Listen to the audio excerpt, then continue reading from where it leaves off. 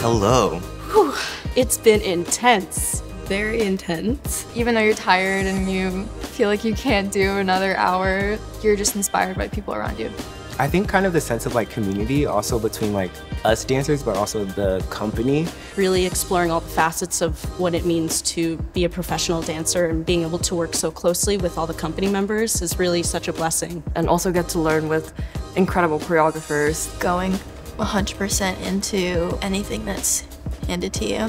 Watching the company members, their ferocity and their grace and their confidence is something I aspire to be. Coming away from the intensive, I hope I can emulate that in my own dancing. The teachers have been amazing. All the company members are so nice. I'm learning so much working with like Jennifer Archibald and also like all the different techniques. I think I just want to walk away like stronger, both like physically and artistically. I just wanted to like really elevate my dancing and the company members at BalletX are so fantastic. So being around them makes me want to push even further. And so I feel like this was exactly what I needed in terms of like enhancing my contemporary style while still maintaining like strong ballet technique. And